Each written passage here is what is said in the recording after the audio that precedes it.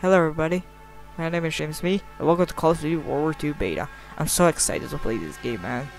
This game has been amazing. This might be like one of my favorite Call of Duty games ever. Like, it's so amazing, the maps are awesome, the guns are amazing. Everything is amazing on this game. This might be the best Call of Duty game ever.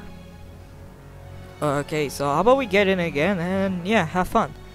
What?